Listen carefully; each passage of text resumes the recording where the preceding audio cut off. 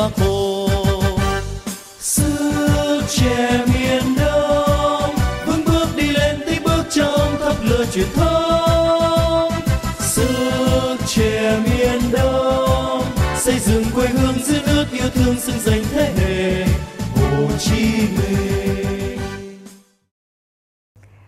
Kính chào quý vị khán giả, mời quý vị khán giả theo dõi chương trình Kết nối Đông Nam Bộ. Chương trình được phát cùng lúc trên sóng của 7 đài phát thanh truyền hình là Đồng Nai, Tây Ninh, Bình Dương, Bình Phước, Bà Rịa Vũng Tàu, Bình Thuận và thành phố Hồ Chí Minh. Những tin tức nổi bật trong khu vực, đặc biệt là hoạt động chăm sóc, giáo dục, phòng chống tai nạn thương tích cho trẻ em trong dịp hè sẽ được chúng tôi giới thiệu trong chương trình hôm nay. Mời quý vị cùng theo dõi.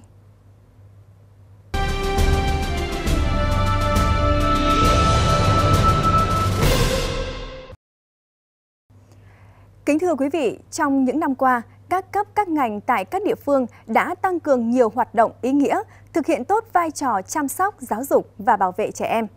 Tại tỉnh Bình Thuận, các cấp ủy đảng, chính quyền trên địa bàn toàn tỉnh đã thực hiện nhiều giải pháp đồng bộ để nâng cao nhận thức trách nhiệm của cả xã hội đối với công tác bảo vệ, chăm sóc trẻ em, qua đó góp phần thực hiện tốt công tác an sinh xã hội của tỉnh. Với những đứa trẻ không bình thường này, thì công việc chăm sóc nuôi dạy càng vất vả hơn.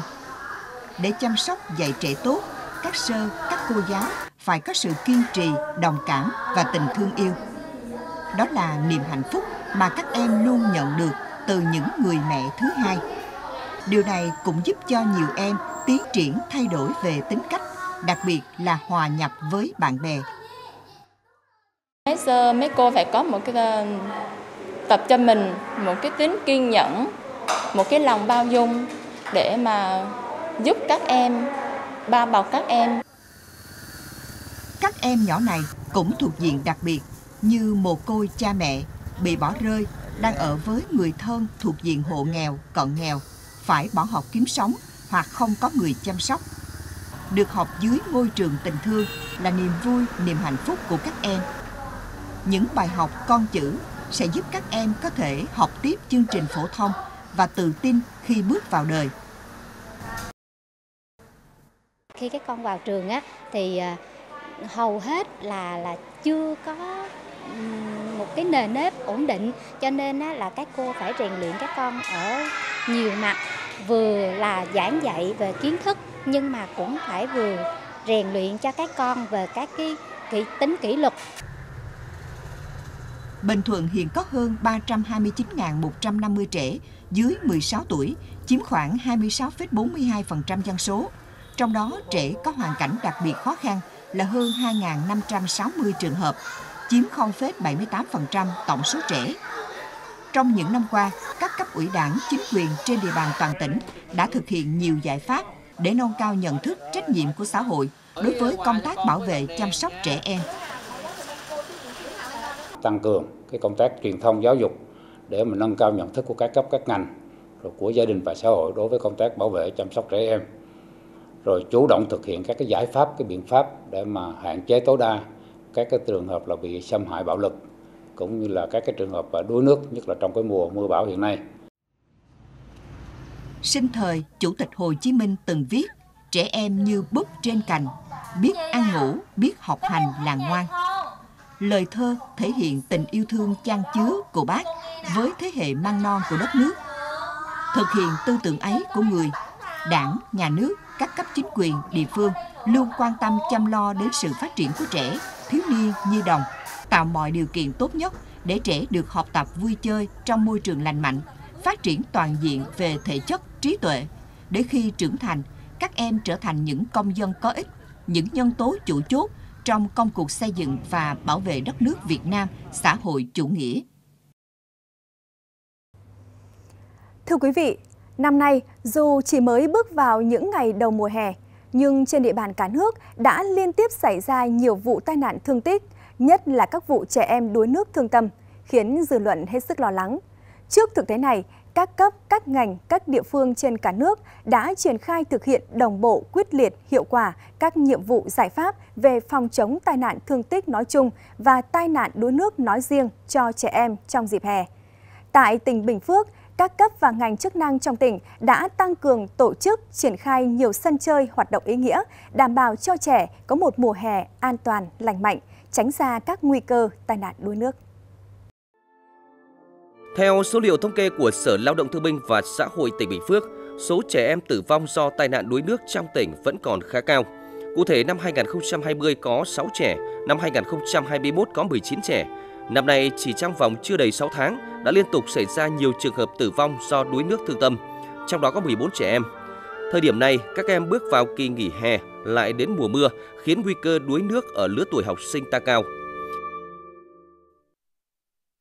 Trước thực tế này, Ủy ban nhân dân tỉnh Bình Phước đã chỉ đạo các cấp các ngành địa phương triển khai thực hiện đồng bộ quyết liệt hiệu quả các nhiệm vụ giải pháp về phòng chống đuối nước cho trẻ em. Trên cơ sở chỉ đạo, Sở Lao động Thương binh và Xã hội phối hợp với các cấp ngành liên quan khắc phục những hạn chế, tăng cường hoạt động tuyên truyền, phổ biến nâng cao nhận thức về tai nạn đuối nước cho trẻ em và người lớn, đồng thời đồng loạt tổ chức khai mạc hè tại tất cả các địa phương trong tỉnh, phát động phong trào toàn dân tập luyện môn bơi cùng với nhiều hoạt động vui chơi bổ ích giúp trẻ em có một mùa hè an toàn lành mạnh. Song song đó, phối hợp chặt chẽ với các địa phương tăng cường thanh kiểm tra việc chấp hành quy định pháp luật về phòng chống tai nạn, thương tích, tai nạn đuối nước ở trẻ em. Cái sự vào cuộc của các cái ngành như Sở Giáo dục Đào tạo, rồi là đoàn thanh niên, rồi Sở Lao động, ngành lao động, rồi là đặc biệt là các địa phương xã phường thị trấn phải có cái kế hoạch cụ thể để làm sao đó là có những cái giải pháp mà và tôi cho rằng là nó phải sát tới từng hộ gia đình đẩy mình và tăng dày lên cái uh, thời lượng cũng như là các cái bản tin mà nó mang tính chất là hướng dẫn cụ thể hơn đối với các cái uh, kỹ năng rồi cũng như các cái tránh các nguy cơ về phòng phòng tránh đuối nước ở trẻ em để làm sao đó chúng ta phải tác động và quản lý chặt và quản lý cách hiệu quả ở trẻ em không để trẻ em là bị đuối nước. Sở Giáo dục và Đào tạo tỉnh Bình Phước cũng đã yêu cầu các phòng giáo dục đơn vị trực thuộc tăng cường công tác tuyên truyền, giáo dục, nâng cao nhận thức, kiến thức, kỹ năng về phòng chống đuối nước, đảm bảo an toàn trong môi trường nước cho trẻ em, học sinh. Các cơ sở giáo dục cũng đã đồng loạt tổ chức các buổi ra soát, phát hiện các điểm nóng có nguy cơ cao xảy ra tai nạn đuối nước để cảnh báo kịp thời, tổ chức các lớp học bơi, học kỹ năng an toàn phòng chống đuối nước cho các em trong dịp hè. Qua đó, góp phần giảm thiểu tình trạng đuối nước ở trẻ em. Thì ờ, Sở Giáo dục Đào tạo đã tập trung chỉ đạo cho các cơ sở giáo dục đẩy mạnh công tác tuyên truyền về nguy cơ đuối nước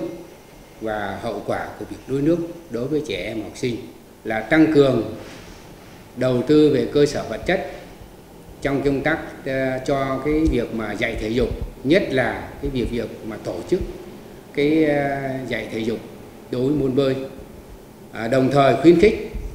à, các cái cơ sở giáo dục hợp tác để đầu tư xây dựng các cái hồ bơi nhân tạo và cũng như phối hợp với các cái cơ sở các cái doanh nghiệp trên địa bàn để tổ chức các cái buổi tập bơi cho các em và trên cơ sở đó thì công tác này trong thời gian qua thì tôi thấy rằng cũng có những cái nhiều cái hiệu quả nhất định. Bình Phước là địa phương có nhiều ao hồ, kênh rạch, sông suối, tiềm ẩn nguy cơ gây đuối nước – để đảm bảo an toàn cho trẻ em, học sinh, nhất là trong dịp các em nghỉ hè, các ngành chức năng tổ chức đoàn thể, đặc biệt là chính quyền cấp cơ sở đã chủ động các kế hoạch, chương trình, phương án để phòng chống đuối nước cho trẻ em. Bên cạnh đó, các gia đình, cha mẹ, người thân cũng cần nâng cao hơn nữa ý thức trách nhiệm trong việc quản lý, giám sát các hoạt động vui chơi của con trẻ, nhất là trong môi trường nước, chủ động ngăn ngừa các nguy cơ từ xa, từ sớm có thể dẫn đến tai nạn đuối nước cho trẻ em. Còn tại tỉnh Tây Ninh, mô hình điểm cảnh báo phòng chống tai nạn đuối nước do huyện đoàn, Hội đồng đội huyện Tân Biên thực hiện đã tạo được tiếng vang lớn. Công trình không chỉ thể hiện được tính sáng tạo và nhiệt huyết của tuổi trẻ, mà còn bước đầu khẳng định được tính hiệu quả trong công tác tuyên truyền phòng chống tai nạn đuối nước. Để triển khai thực hiện mô hình điểm cảnh báo phòng chống tai nạn đuối nước, Huyện đoàn, Hội đồng đội huyện Tân Biên đã tiến hành ra soát các điểm nóng có nguy cơ xảy ra tai nạn đuối nước. Từ đó tích cực vận động nguồn lực xã hội để tiến hành xây dựng cụm công trình cảnh báo, gồm hệ thống loa phát thanh tự động, hệ thống phao cứu sinh và công trình phụ trợ có liên quan. Điều đáng nói ở đây, công trình này hoàn toàn do đoàn viên thanh niên huyện nhà nghiên cứu, thiết kế và thi công. Do đó, để có được một bản thiết kế hoàn thiện, giúp hệ thống vận hành trơn tru là cả một quá trình thử nghiệm, chỉnh sửa đầy thách thức. Từ lo phát thanh ở công trình, con đã học được nhiều cách để cứu bạn khỏi đuối nước và giúp cho bản thân mình không bị đuối nước. Với những kiến thức và các công dụng này con sẽ áp dụng ngoài đời thật và tuyên truyền về cho bạn của mình. Cùng với hệ thống loa phát thanh tuyên truyền, hướng dẫn người dân về các biện pháp phòng chống tai nạn đuối nước, cách xử trí khi xảy ra tai nạn đuối nước. Tại mô hình này, huyện đoàn, hội đồng đội huyện còn cho lắp đặt thêm những chiếc phao cứu sinh để khi chẳng may có tai nạn đuối nước xảy ra, mọi người có thể kịp thời đến lấy và sử dụng. Đến thời điểm hiện tại, trên địa bàn huyện Tân Biên có tất cả 8 điểm phòng chống tai nạn đuối nước đã hoàn thành và đưa vào sử dụng. Các công trình này đều nhận được sự đồng tình hưởng ứng từ người dân và được cấp ủy chính quyền các địa phương đánh giá cao. Thì ở đây nó cũng càng kênh, nít nó tắm rửa thì nguy hiểm, bị nó đi ờ, nó người lớn không có đó,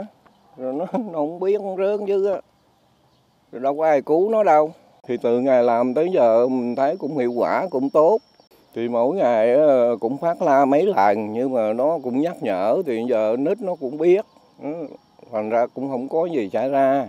Từ khi ờ, xã đoàn nhận được cái ờ, cái công trình điểm cảnh báo phòng chống đuối nước này á, thì xã đoàn cũng đã tuyên truyền đến người dân. Thứ nhất là về cách phòng chống đuối nước, tuyên truyền đến người dân về cái vấn đề bảo quản cái cái công trình này. Nếu mà trường hợp có hư hỏng xảy ra thì xã đoàn cũng nhanh chóng khắc phục, sửa chữa cái công trình để công trình được đảm bảo theo cái kế hoạch. Ban thường vụ huyện đoàn, hội đội huyện sẽ nhân rộng cái mô hình này thông qua cái việc đó là rà soát tiếp tục các cái điểm có nhiều nguy cơ trên địa bàn còn lại để tiến hành vận động nguồn kinh phí lắp đặt. Kính thưa quý vị, cầu đường sắt Bình Lợi cũ bắc qua sông Sài Gòn nối thành phố Thủ Đức qua quận Bình Thạnh là cầu sắt vượt sông Sài Gòn đầu tiên. Từ năm 2019, sau khi cầu Bình Lợi mới đưa vào khai thác, cầu đường sắt Bình Lợi cũ chấm dứt sứ mệnh sau 117 năm hoạt động. Trong văn bản gửi Sở Giao thông Vận tải Thành phố Hồ Chí Minh mới đây, Sở Văn hóa và Thể thao Thành phố Hồ Chí Minh nêu rõ, cây cầu này có giá trị lịch sử, văn hóa gắn với quá trình hình thành phát triển lịch sử của Sài Gòn, Thành phố Hồ Chí Minh và ngành đường sắt Việt Nam, có đủ tiêu chí để xếp hạng di tích theo quy định hiện hành. Trong khi chờ xếp hạng di tích, ngành văn hóa Thành phố Hồ Chí Minh đang đưa ra phương án bảo tồn công trình này. Cầu đường sắt Bình Lợi cũ dài 276 m với 6 nhịp, có kết cấu vòm thép, mặt gỗ và đường ray xe lửa chạy qua. Hiện chỉ còn hai nhịp cầu sắt cũ và tháp canh cũ bên phía bờ thành phố Thủ Đức được giữ lại để bảo tồn. Các phần cầu còn lại được tháo dỡ từ năm 2020. Thưa quý vị, theo Sở Văn hóa Thể thao Thành phố Hồ Chí Minh thì sẽ có hai phương án. Đối với phương án 1 thì sẽ tu bổ, phục hồi hai nhịp cầu cũng như là tháp canh với tổng kinh phí gần 13 tỷ đồng. Và đối với phương án 2 thì sẽ bảo tồn toàn bộ công trình sau khi được bàn giao ủng hộ chủ trương của Sở Văn hóa và Thể thao Thành phố Hồ Chí Minh, cũng đồng thời đặt vấn đề xem cầu đường sắt Bình Lợi cũ là di tích, rộng hơn là di sản. Kiến trúc sư Nguyễn Trường Lưu, Chủ tịch Hội Kiến trúc sư Thành phố Hồ Chí Minh cho rằng các cơ quan cần phải có phương pháp tu bổ khoa học, bài bản. Trước hết là chúng ta vào chúng ta đánh giá toàn bộ cái di sản này một cách khoa học là những cái gì là trong cái di sản cả cái cầu Bình Lợi hay là vùng một vùng một là cái cầu Bình Lợi, vùng hai là các vùng lân cận của cầu Bình Lợi. Và nếu mà ở vùng một tức là cụ thể là cây cầu à, thì chúng ta quyết định là đi kiểm tra khảo sát cái gì hư hư như thế nào và cái thay thế là như thế nào để tránh cái trường hợp tu bổ di sản bằng cách là làm mới người ta hay gọi là làm mới di sản là không đúng là người gắn bó với cầu đường sắt Bình Lợi cũ từ thuở nhỏ, ông Nguyễn Sử Sửu bày tỏ sự bồi hồi về việc lưu giữ, bảo tồn công trình này. Tuy nhiên, ông Sửu cho rằng nếu bảo tồn thì cần phải giải quyết triệt để những tồn tại hiện nay. Biết rằng chúng ta có thể là duy trì được cái cái cái cái văn hóa, cái kỷ niệm của của bao nhiêu năm đó. Nhưng mà bên khía cạnh đó hiện tại bây giờ sẽ không có ai quản lý và không có ai bảo trì thường xuyên thì nó sẽ xuống cấp nhanh bên cạnh đó là những cái tệ nạn của xã hội nó cũng tập trung tại đây. Chúng ta phải có một cái bảo vệ không phải bảo vệ về an ninh và bảo vệ về mặt xã hội. Tại vì nếu mà không có một cái hoạt động ở trên đấy mà không có bảo vệ thì nó trở thành một cái tụ tập một cái địa địa điểm tụ tập về không lành mạnh ở trong xã hội. Không chỉ từng là công trình phục vụ giao thông quan trọng, cầu đường sắt Bình Lợi cũ còn là nơi lưu dấu kỷ niệm của biết bao lớp người Sài Gòn, thành phố Hồ Chí Minh. Do vậy, ngành văn hóa cần sớm quyết liệt triển khai các giải pháp để công trình sớm được bảo tồn, góp phần gìn giữ nét di sản đặc trưng của thành phố. Quý vị thân mến, những tin tức vừa rồi cũng đã khép lại chương trình Kết nối Đông Nam Bộ. Kính chào và hẹn gặp lại quý vị trong chương trình lần sau.